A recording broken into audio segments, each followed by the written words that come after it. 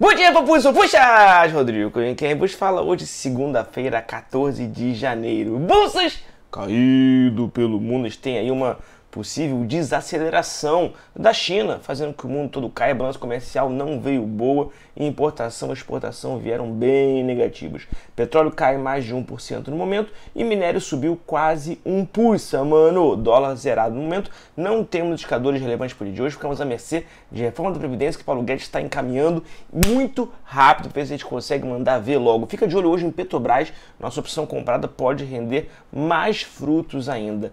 Bom, eu começo 8h45, mas antes, 8h30, temos estreia de Marcelo Ezek, o nosso vovô, que vai dar muitas dicas para você poder ganhar muito dinheiro. Fico de manhã e fico à tarde também, a partir de 3 horas da tarde com você. E também agora faço call de fechamento, fechando caixa todos os dias, mais ou menos 5 h 30 da tarde. Só deixar o seu like, comentar, acompanhar. Beijão.